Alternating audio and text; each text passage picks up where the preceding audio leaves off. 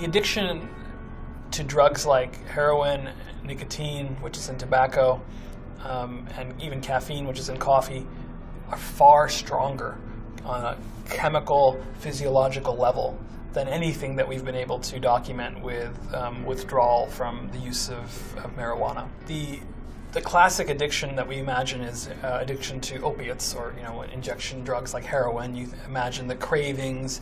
You imagine the you get so sick if you don't have the medicine or the drug. Uh, you go through uh, chills. Your nose starts to run. Your eyes water. Uh, you're sick to your stomach. You're vomiting. Diarrhea.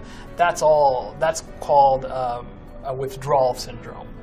And then there's something called tolerance, and that's where you need more of the drug to achieve the same effect. Uh, and then there's the addiction, the psychological compulsion. You're orienting your whole life around trying to find and procure this, at the and and uh, your personal, your social, your functioning uh, suffers as a result. That is our, I think, our model of addiction. And then, depending on how socially available the substance is, like for example, tobacco is available everywhere, so people uh, will very rarely experience all these crave, uh, withdrawal syndromes. Versus if it's your drug of addictive choice is uh, an opioid that's hard to get, you'll see varying degrees of behavior uh, on the spectrum.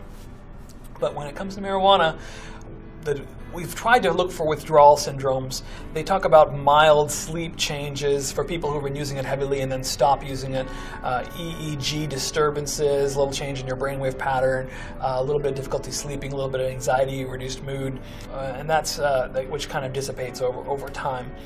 Uh, not that same uh, all of a sudden change in your physiology where you're extremely sick and can't function and um, uh, also, there's no uh, life-threatening nature whatsoever, like there is when you withdraw from Valium or, or benzodiazepines, which can actually the withdrawal can kill you. And same thing with alcohol, withdrawal can kill you.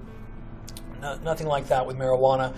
The main thing there is a, uh, the, the behavioral and social conditions that set, would set up a compulsive use pattern, prohibiting it, uh, doing things on the sly. It turns out some people psychologically do report improved psychological functioning using this substance. Um, and as you would expect, because the compounds have been shown to have antidepressive qualities, anti anxiety properties. So it's possible when people are, are no longer using it abruptly that they revert to a state that might have previously been their uh, prior state, which was more depressed and more anxious. So that's always something to figure, consider as well if you're wondering if, if a substance is a withdrawal syndrome or really just a withdrawal of, a sub, of an agent that was helping improve the psychological functioning.